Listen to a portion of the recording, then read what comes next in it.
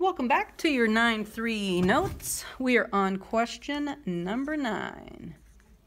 We have 2a squared minus 20 equals 30.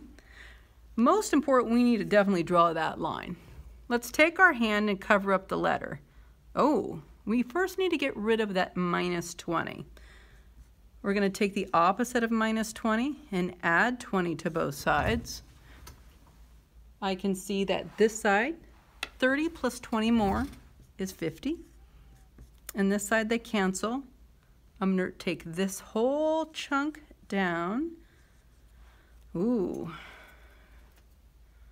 We see some multiplication going on there. The opposite of multiply is to divide. Whatever I do to one side, I do it to the other. a squared equals, now if you left it right here, you're like going, wait a minute. 50 is not a perfect square. True, 50 is not a perfect square. 49 is, but 50 is not in the yellow.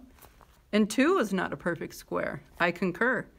2 is not in the yellow. So we have a little quandary here.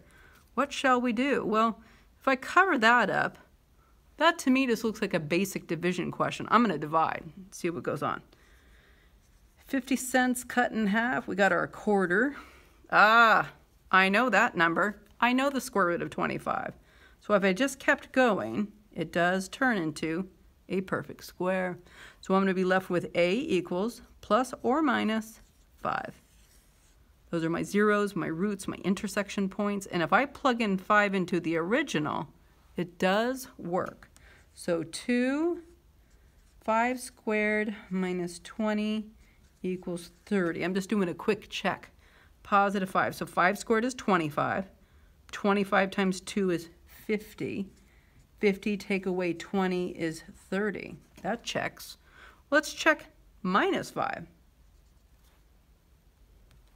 Negative 5 times another negative 5 is positive 25. 25 squared. Oh, sorry. Negative 5 times negative 5 is positive 25.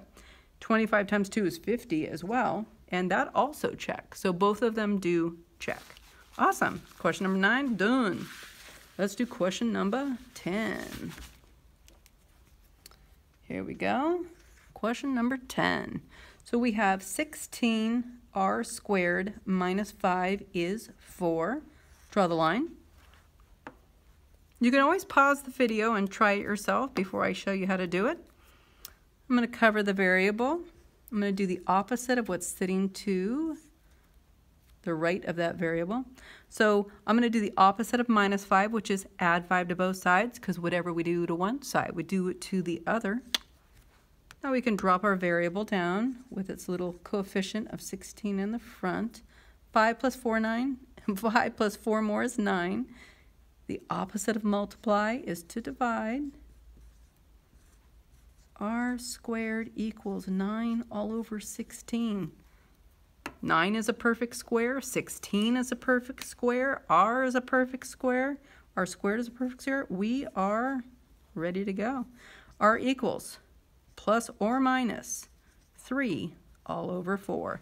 The square root of 9 is 3. The square root of 16 is 4. It's not 8. I know you're probably thinking 8, but that's not it. Cool. Plus or minus 3 fourths.